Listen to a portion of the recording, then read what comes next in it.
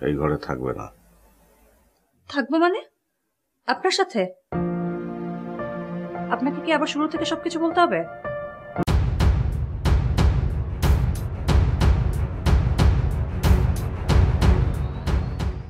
শায়না আমিন। মাহমুদা আমিন শায়না জন্ম ছাব্বিশে ফেব্রুয়ারি।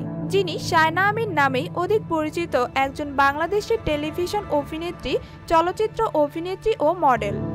তুমি যদি আজকে আমার সাথে না পালাও আমি কিন্তু সমুদ্রে ঝাঁপ দিব। মা আমি সুন্দরটা ধরে রাখতে পারি না আই এম সরি মা। প্রাথমিক জীবন। আমিন ছাব্বিশে ফেব্রুয়ারি সৌদি আরবের মক্কা নগরীতে জন্মগ্রহণ করেন। তার বাবা মা দুজনেই বাংলাদেশি। তার বাবা নুরুল আমিন একজন ব্যবসায়ী ও মা একজন গৃহিণী। বাবা সৌদি আরবেও প্রতিষ্ঠিত ব্যবসায়ী ছিলেন।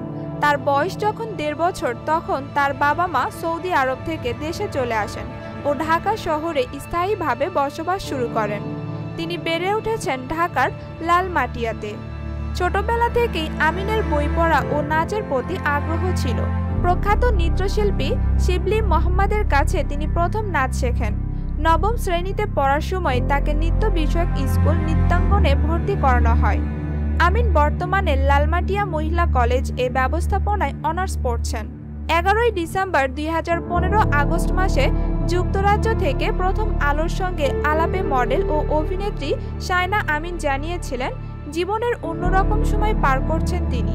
সবকিছু ঠিক থাকলে ডিসেম্বরে মা হবেন তিনি।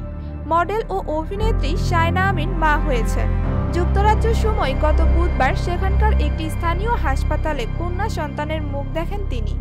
শায়না আমিনের পারিবারিক সূত্রে জানা গেছে, মা ও মেয়ে দুজনই ভালো আছেন। নবজাতিকার নাম রেখেছেন আরশিয়া। এদিকে ফেসবুকে পোস্ট করা এক স্ট্যাটাসের মাধ্যমে শায়না আমিন বলেন, জীবনে পূর্ণতা এলো। এখন আমরা বাবা ও মা। সবাই আমাদের মেয়ের জন্য দোয়া করবেন।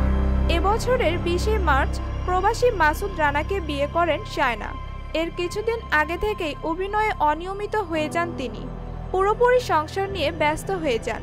দুই হাজার ছয় সালে বদরুল আনাম সৌদের ক্রস কানেকশন নাটকের মাধ্যমে ছোট পর্দায় কাজ শুরু করেন। এরপর বেশ কিছু বিজ্ঞাপন ও নাটকে কাজ করেছেন। সবিজে অনেক বছর ধরে কাজ করলেও শুভমিতা ও শহীদের গাওয়া এক জীবন গানের মডেল হয়ে বেশ জনপ্রিয়তা পান শায়না। ছোট পর্দার পাশাপাশি চলচ্চিত্রেও অভিনয় করেছেন শায়না। রুবাইয়াত হোসেনের মেহেরজান মাসুদ আকন্দের পিতা এবং নার্গিস আক্তারের পুত্র এখন পয়সাওয়ালা ছবিগুলোতে কাজ করেছেন তিনি।